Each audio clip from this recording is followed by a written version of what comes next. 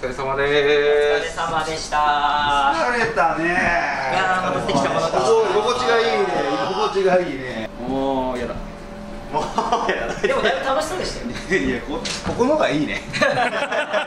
ことで、前回の動画ではあのラジコンサーキットで、はい。実際まあラジコンがどうやって実写に生きるかってやってもらったんですけど、次は SIM とそのスポッターのやり取りって実際どうやってるのって実写やサーキットで撮影するってなかなか難しいと思うんですよ、うん。ここだとスポッターとドライバーが実際どうやって会話して指示してるか。スポッターはどういう目線でっていうのが分かると思うんで、このお二方がもともとうちがリアルにできるきっかけになったお二方でもあるんでその辺のまあ普段のトレーニング方法もまた聞きながらやっていきたいと思います、はい。お願いします。お願いします。上野さん、和美さん、お願いします。急遽ちょっとケーキを用意したんで、まとめて D112FDJ123 表彰台おめでとうございます。ありがとうございますそうだそうだやばい嬉しいありがとうございます店長、はい、大の D1FDJ 好きです。ありがとうございますれました。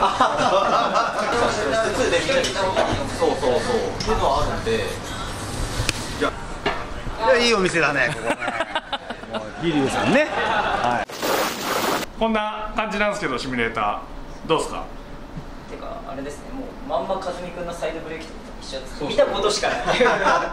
もうまず本当もう大人の遊園地みたいな感じです、寄ってくださいこれ触っちゃっても見てくださいよ。全然もう見てもいやらって。もうなんか引いた感じも実写よこれ。ちょちょっとやっていいですか俺もねあのー、あんま引いたことないでしょいやなないっていうか触っちゃいけないものだなって感じのなんですけどこれがあれですねサイドの縦引きってやつですねですですあの僕の乗ってるプリウスは足でピッてやるだけなんでもうこういうの初めてですあ第3これこれだけで僕ね大満足じゃあもう実際乗っちゃいますかもう速攻でどんなもんだかっていうのをだ誰が乗るんすか？え和美さんが一いいんすか？回乗ってでいつもスポッターやってるんですもんね、そうですね。あのはい。ラジコンのあれで聞いたんですけど、はい。はい。ちょっとスポッター的な感じでこうな何が悪いみたいなああツッコミじゃないですかか ちょっと ちょっと動画だからちょっと優しめにい。やでも多分見てる方はリアルなあれが多分知りたいと思いますよ。はい。はい。まあグーの音も出ないぐらい走ろうじゃないあコースどこですかコースは富士ですはいやっぱチャンピオンですからね、富士の。スピードウェイといえば得意のホームストレートに出る佇まいが違うもんねもうすでにもうすでにチャンピオンの風格チャンピオンの風格がある。チャンピオンのラインだよ1コーナーも1コーナー富士はあれですかあの日比野さんも、ソメディさんも練習とかはシミュレーターではい本番前にやっぱ確かめるためにやりますねはいはい普段走れるコースじゃないんでやっぱりすごいあー貴重にやってきます。はい。僕らはやられましたけど、ね。本番では。ああなるほど。そそういう関係なんですね。人にやられてる。ああ、なるほど、なるほど。なるほど。まあまあまあ。そうか、ヤジ飛ぶっすね。いやーもうバチッと走ってくれますね。これでもう失敗しようもんならもうちょっと怖いっすよ。でじゃあ行きます。はい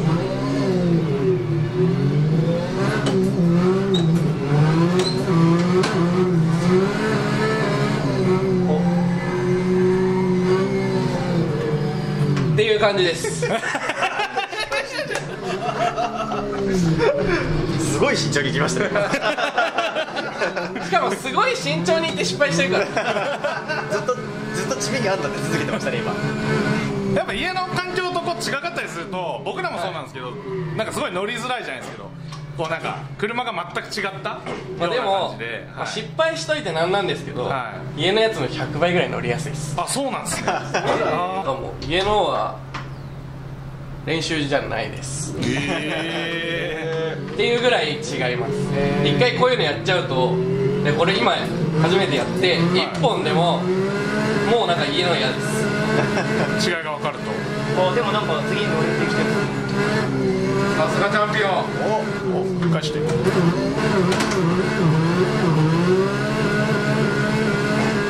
なんかまあ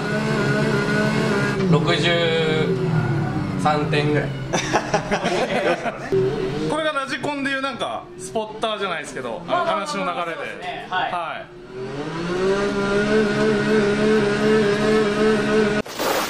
普段スポッターエリアって、まあ、当然定点カメラで見てるみたいな感じじゃないですか、はい。そういう感じにもこれ映像ってできるんですあできます。ここがスタート地点です。ここがスタート地すげえ点動いてる。ドローンじゃんこれ。そうこんそうなんそうなん本当にドローンみたいな。あ富士山も綺麗だ本当だ。富士山見に行かなくてよくなっちゃう。このこの、うん、スドローンタンドのところぐらいですけどお客さんいっぱいいるお客おさん客さんいっぱいいますね。このスタンドあこうですか？ちょっと右。あまああそここんな感じではいそうですねこんな感じで。ここですね。はい。おおこれが大体審査席。じゃあとりあえずまあ普段もこう走ってきて走り終わってからまあ無線を飛ばす感じなんでまああの本当に本番と同じような感じで。おーいじゃあ行きまーす。はいお願いします。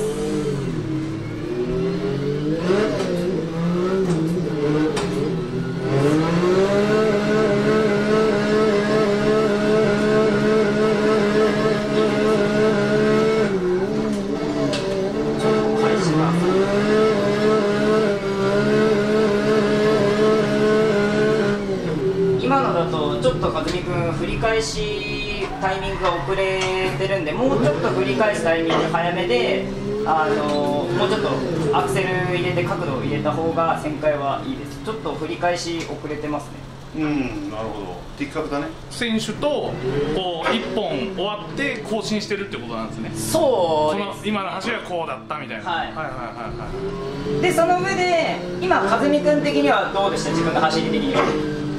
なんかちょっと1ゾーンのところでまあふらついた分その繰り返し遅れて姿勢が乱れたから、まあ、そこでうまいこと走れてないから、まあ、その1ゾーンがやっぱうまく取れてないからそっちに引っ張っちゃったかなっていう。そうだから多分もうちょっと1ゾーンのところをゼブラいっぱいまで使えれば割と振り返すまでに余白が作れるからもっと手前で返せると思うんです今多分その第1ゾーンのところがゼブラまで寄れずに小さいから結局すぐに第2ゾーンに寄っちゃって開始も遅れて振りも消極的になっちゃったんで。今さっきやったことって実写でいつもやってることじゃないですか、はいはい。そのシミュレーターじゃないとできないことってうーん。今の今から。そうですね。あの僕今、い。モニターでしか見てなくてチラッチラって見てるんですけど、はい。その今和美君がこの、はやってる操作って絶対見れないじゃないですか、本番。あリアルタイムのはい。はい。だからそういう時とかにあ特にこの今の場所って、まあ、僕らから見えない場所。ああそうです今いないですもんね。だから、はい。例えばそのもし今みたいにも走りが決まってればあれですけど、はい。走りが決まらない時になんでそこを通っていくとどうなるんだろうなっていうのを、はい。このドライバー視点からも見れるっていうのはまあ、多分利点かなと思います。なるほど。はいあのーね D1 優勝ワンツーっていうのもそうですけどチームで戦ってるんだなっていうのが、そうですね。今まで去年ぐらいまでって関わりなかった時ってただの一視聴者なんでドライバーしか知らないんですよ。ドライバー一人で戦ってるなんですよ、初心者は。っていうか素人が見るっていうお二人に交互にちょっと追走してまあまあまあまあまあ僕はまだ2位なんで優勝したねドライバー同士でね一般的なあのね俺がちょっとこうね外から見るみたいなね。勉強させてもらおうかなと。あインフィニティや。インフィニティも選べるんですか？あね FD と D1 の異種格闘技みたいな感じですいねやあそうですね。見られないもんね。優勝だって距離違うから本当だったらね。トップドライバー2人の追走ですもん見えないね。ねあ今どうだろうね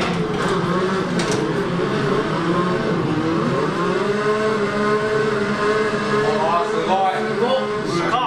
これ正直兄弟がすごすぎて、まあ、和美君に特にこうミスというか言うことはないんですけど、ボロ負けですね今の今の普段練習してる挙動なんでね、まあ、ちょちょっともちろんハンデはあると思うけどこれやっぱ普段みたいにいい先行でしたよぐらいさちょっと言ってくれないとテンションが じゃあ2本目いきますよ。じゃあいきます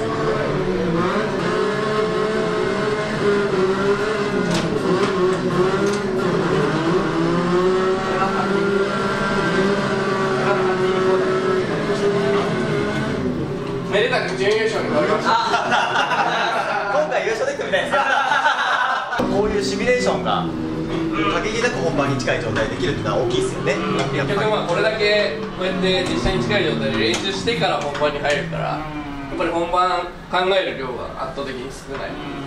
でやっぱりこの富士って普段走れないしこのドリフトし始めてからゾーンが見えないからその中でもやっぱりそのゾーンを意識して走るってなった時に、まあ、この何回でも反復練習ができてやっぱり景色は全部一緒なんでその景色の中で自分のいる位置だったり通る位置を覚えておけばやっぱり実写の時で最初行った時混乱するんですけどいつも。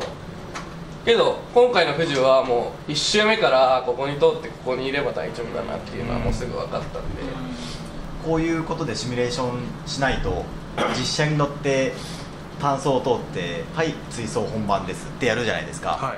この組み立てができてなくて分かんないまま走ってちょっとのコンマ数秒の判断ミスで負けちゃうんでそれがなんでそういうミスができちゃうのかっていうのは追走のシミュレーションがあらかじめできてない。ってことがあるんでそれをここで全部何回も何十回も走ってで人によって走り方が違うからいろんなパターンの人と走ってそれを研究しておけばもう追走練習をかなりした状態で本番は走れるってアドバンテージになります。ああなるほど。あと実際ラジコンしかやってない人で、はい。実写のすり合わせってまあもちろん風見選手とのすり合わせで不具合ってないんですやっぱりラジコンってモーターでかはい。ギアがないんでその頭打つことはあんまり、まあ、ないないことはないいと思うんやでもウィーンってずっと言ってるんでレブとかもないし頭打ちってあんまないイメージ。なんでそこが届かないんですかって言われるんですけどいやいやもうレブって回転頭打ってるから無理だよって言ってもよくわからないのか何なのかあラジコン通じない時がラジコンにレブないからよくわからない。そうですねそこに関してはもうラジコンってもう本当に2000馬力3000馬力ぐらいな。もう単純にギア比伸ばせばいいんですけど、まあ、そこを伸ばすと結局他に弊害が出たりするので、やっぱりいいところを自分で選ばなきゃいけないんですけどそういうギア比選択とかはやっぱりその頭打ちがないから、うん。そこは話がずれることが多いです、じゃあ、レブ体験してもらいましょうよ。あそうですね。体験という一応実写想定なので操作、はレブ、えーそういうのは全部一緒なんで、はいはいはいはい。乗ってみません？お。えこれこれ乗っていいんですか？あのこれこれレブちょっと分かりにくいですよ。あー川がとんでもないんあでのなんかもう広い場所で、はい。僕としてもぜひとも一度体験したい高橋選手悪いかもしれませんあのー絶対悪い悪いかもしれませんねなんならもうもう腕組んで後ろで見ちゃう。スポッターやってもいいんじゃない？僕あのーマニュアル教習所のコンフォートしか乗ったことないんです すごいニヤニヤ嫌ですねいやいやが止まってないよねああここういうことですね結局出ないあそうですそうですそうああなるほどなるほどレブ当たっちゃってると結局ドリフト中はドリフト終わっちゃうしあまあまあそうですよねはいそういうことですこのシステムいらなくないですかレブってシステムあのエンジン抜かれましたいやみあれですねみんなすごいことしてるんですねっと優しくしてくれるようになるんじゃないですか。すごいことをしてるらしいですよ。自分が体験できたのがすごい嬉しいですね。今の言葉もちょっと録音しとけばよかった。これ定常やしできちゃいそう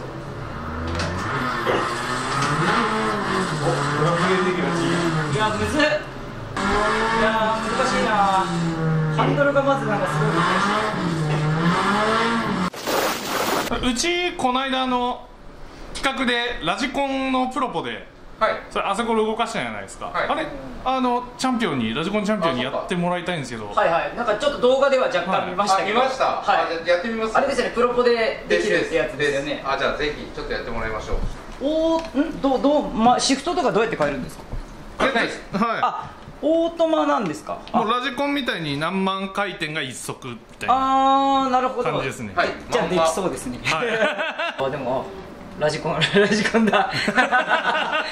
へー完全に完全にラジコンと一緒だ。これはもう水を得た魚のような。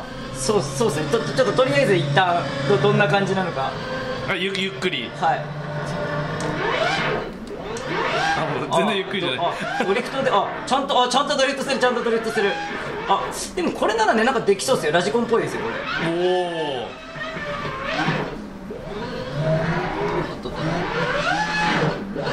もうできてる。えハンコンよりこっちの方がやりやすいんじゃないですかもしかしたら。全然やりやすいですね ブレーキ踏むとサイドブレーキになってるんですよ。はいはいはい、はい。あじゃあラジコンと一緒ですね。そうですそうです。そうですラジコンもフットブレーキはないんで。ちょっとどっか行って見づらいんで一、はい。回車内視点でやってみます。かああ了解です。あこのあなるほどね。そう車 車内でハンドルじゃなくて一応プロポでみたいな。はいはい。これはいよいよ俺の必要性が問われる時代解決おかしいやろすごいすごいすごいすごい。すごい例えたそんだけ言っとんなるありえんやろ。これですね D1 そうですそうです。あのこいつもここの辺から見てます。ここに立ったの初めてですね。あちゃんと曲がる曲がる曲がる。ああなるほど。あでも全然ああこれこれねこれ僕こっちの視点の方がやりやすいです。よあ車内の方がやりやすいですか？えー、すげえ。いやあのーラジコンと同じ目線ではあったんですけど、はやっぱりあのこう画面越しと、まあ、ラジコンでこうリアルじゃないですか。だからこう、荷重の感じとかそういうのが分かりやすいんですけどあのあさっきのモニターだとさすがにちょっと小さいしちょっと荷重の感じが分かんないんですけどこっちはいはいはい。でドライバー視点に乗ってる方が今こう前に乗ってとか右左とかの感じはつかみやすいですね。今リアルに乗ってるとか。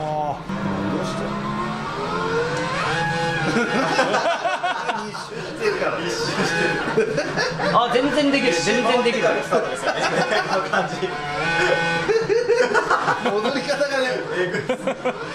あ全然できます。僕もこれ多分 D1 出れますよ。和美君のスポットやるよりもこう車をラジコンで操作できるようになった方がこれは BM 早いかもしれないですよー ソワディリ選手もあれですよね。はい、コーダ絶対できるよ。これラジコンチャンプますかね。ですよね。えー、チャレンジ。いきますかでもこれとっさの時動いちゃうかもしれないです。しないですね。今こうやって壁を蹴るとしてもこうやってやりました大丈夫です。大丈夫です。触りたくなっちゃう癖がも癖ついちゃってますね。ちょっとじゃあ行ってみますよ。おおえなんでいきなりできるすかすげえ。おおでもちょっとできてない。でもいやでもできるよね。ラジコンやってる人だったら多分すぐできるよねこれ。やっぱ化け物っすね。うわすげえおお言葉を選ぶのが難しいですけどこれなんて言ったら適正なのかがミックスですよ。ラジコンと実写の。本当にこの視点は実写やけど操作がラジコン。もう本当まんまそれが。これちなみに多分会社に 1000PX あると思うんですけど、はいはいつなぎましょう。言っていただければあのセットしに行くんで。買うもんケーブル一本なんで。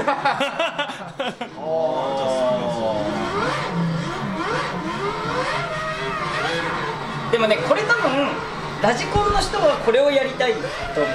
そうですよね。そうですよね。要は社内視点を知りたいんですもんねはい。これよくわができたら最高だけど、い。できないからっていう感じなんで、そうですよこれはねね絶対みんなやりたがると思います。すげえトイレもちゃんとある。ここの奥伊吹のトイレめちゃくちゃ綺麗なんですよ。わかる水上のところだからちゃんとあのトイレあったかいし。上が綺そう麗なんですよ、ね。空調がしっ、かりしてるんですよね。そうそうそうそうそうそう。はい暑い時は涼しい。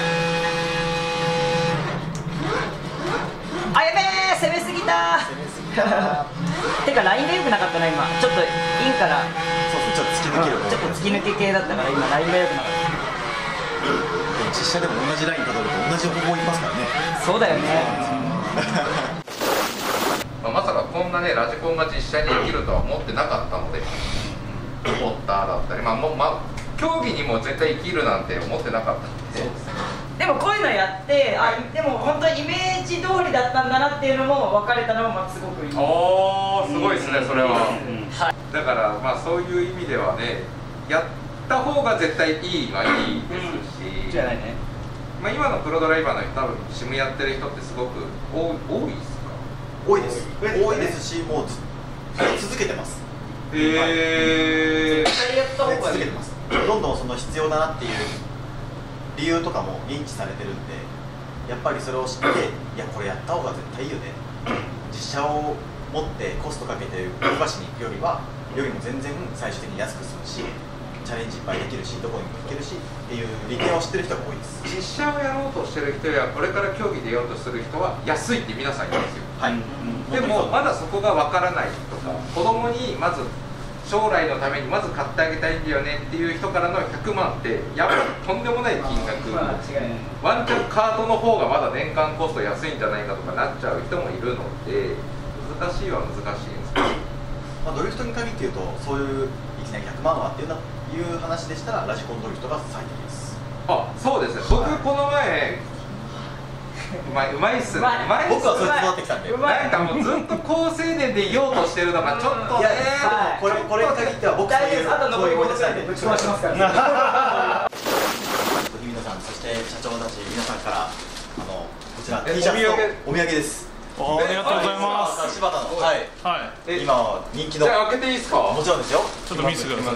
新製品。はい。稲妻。はいはいはい。はいえー、ちょっと。柴田。来てますからえこれ普段にできるあパーえパーパーカーパーカーもちろん新製品ですよ新製品。はい。でもこれ着たいけどこれやっぱ記念にね D1 のワンツーのサインやっぱ欲しいっすよね。なるほど。おー。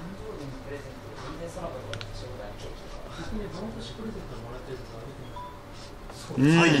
ありがとうございますはい。はい OK おい。ありがとうござい。ますありがとうございます。はい。ありがとうござい。ますもう何時間やってます これはすごいことですよ。もうもう1時間ぐらいやってますよ。そうですね。かれこれ。1時間あゆみさ